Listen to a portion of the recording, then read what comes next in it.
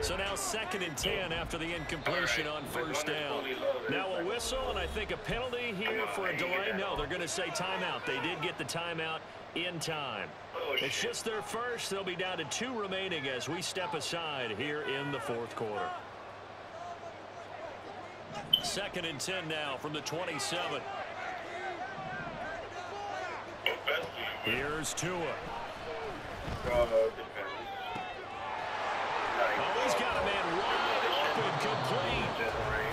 Dolphins going to take their second timeout. That's going to leave them with just one remaining here in this fourth quarter. Right now, so now then, the big play has him all the way inside the 30 now, first and 10. Tua sets up to pass it. Shit, yo! Look at the hole! Yo!